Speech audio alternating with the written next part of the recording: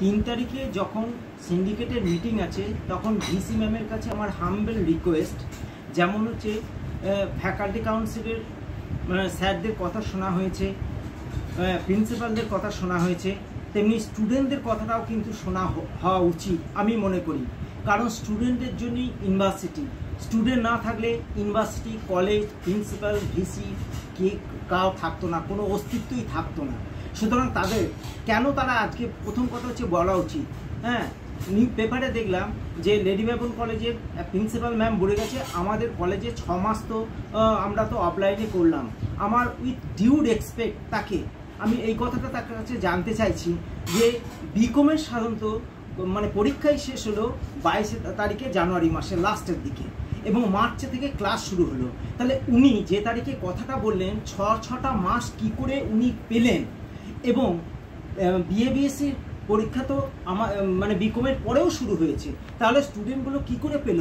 মানে ছ মাসের ক্লাস ছ মাসের যে সেমিস্টার সেই সেমিস্টারটা আসলে ঘুরিয়ে ফেলা হচ্ছে কোথা থেকে?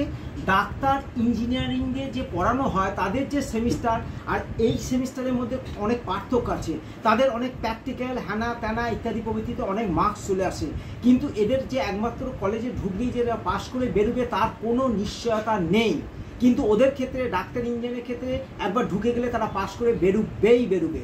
হ্যাঁ? আর এদের সত্যি সত্যি এদের কোনো ক্লাস হয়নি কলেজ হয়নি, কারণ এতগুলো লোক তো আর মানে এই নাইনটি ফোর পার্সেন্ট স্টুডেন্ট তো আর ফাঁকিবাজি হতে পারে না। হ্যাঁ যদি আমাদের মানে one percent five percent student নিয়ে এটাকে যদি এরা প্রতিবাদ করতো, তাহলে বুঝতে হতো যে হ্যাঁ এই ছেলে মেয়েগুলো ফাঁকিবাজি ফাঁকিবাজি মেরে এসছে। সেখানে মানে প্রত্যেকটা কলেজের স্যাররাও জানে যে কত পরিমাণ মানে ক্লাস করানো হয়েছে। যখন হচ্ছে, উপনির্বাচন ইত্যাদি প্রভৃতি যখন ছিল, তখন তো বেশিরভাগ কলেজেও তো ছুটি ছিল দু সপ্তাহ করে। তার মধ্যে গরমের ছুটি অফলাইন অনলাইন হ্যানা ত্যানা ইত্যাদি প্রভৃতি করে ওরা সময় পায়নি। ওরা সত্যি করে সাফারা হবে। দ্বিতীয় কোশ্চেন হচ্ছে, এখানে ডিসক্রিপেন্সি অ্যারাইজ করছে। এতগুলো ইউনিভার্সিটি যেখানে বড় বড় ইউনিভার্সিটি চার পাঁচটা জেলা নিয়ে যেখানে মানে ব্যাপকত্ব যেখানে, তারা কি করছে? অনলাইনে পরীক্ষা নিচ্ছে।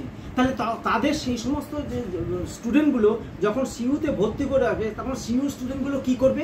আজকে কলকাতার বুকে জেভিয়ার্স নিচ্ছে অনলাইনে হ্যাঁ আমাদের ইয়ে বর্ধমান ইউনিভার্সিটি বড় বড় তারপর হচ্ছে বিদ্যাসাগর ইউনিভার্সিটি হ্যাঁ ম্যাকাউ তারপর হচ্ছে আমাদের মেদিনীপুর ইউনিভার্সিটি এগুলো সমস্ত নিচ্ছে বাকি সমস্ত মানে দশ বারোটা ইউনিভার্সিটি অলরেডি তারা ডিক্লেয়ার করে দিয়েছে। সুতরাং আমার কাছে হাম্বেল রিকোয়েস্ট